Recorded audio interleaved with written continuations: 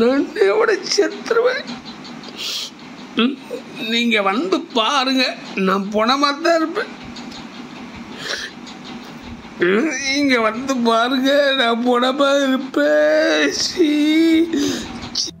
வீடியோவில் இறுதி பதிவை போட்டு கதறி எழும் இவர்தான் தென்காசி மாவட்டம் சங்கரன் கோவில் எம்ஜிஆர் காலனியைச் சேர்ந்த பெருமாள். திருவேங்கடம் பகுதியில் உள்ள டாஸ்மாக் கடையில் சூப்பர்வைசராக வேலை பார்த்து வந்த இவருக்கு திருமணமாகி இரண்டு மகன்கள் உள்ளனர். டாஸ்மாக் சூப்பர்வைசராக இருந்து வந்த பெருமாளுக்கு அளவுக்கு அதிகமான மது பழக்கம் இருந்ததாக கூறப்படுகிறது.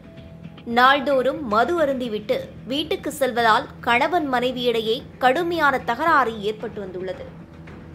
இதனால் உறவினர்கள் மத்தியில் பெருமாள் மீது பல்வேறு குற்றச்சாட்டுகள் முன்வைக்கப்பட்ட நிலையில் கடுமையான மன உளைச்சலுக்கு ஆளாகியிருக்கிறார் அதோடு ஏதேனும் சுப நிகழ்ச்சிக்கோ துக்க நிகழ்ச்சிக்கோ சென்றாலும் பெருமாளை குடிகாரன் என்றே அழைத்து வந்ததால் விழாக்களில் பங்கேற்பதையும் குறைத்திருந்தார். இந்நிலையில் அதிக மன உளைச்சலுக்கு ஆளான பெருமாள் சில நாட்களாக மனைவியிடமிருந்து விலகியே இருந்ததாக கூறப்படுகிறது. இந்நிலையில் மூன்றாம் தேதியன்று காலையில் பெருமாளின் மனைவி உறவினர் வீட்டு நிகழ்ச்சிக்காக சென்றிருந்தார். அப்போது நிகழ்ச்சியில் பங்கேற்ற மனைவிக்கு செல்போனில் ஒரு வீடியோ வந்தது.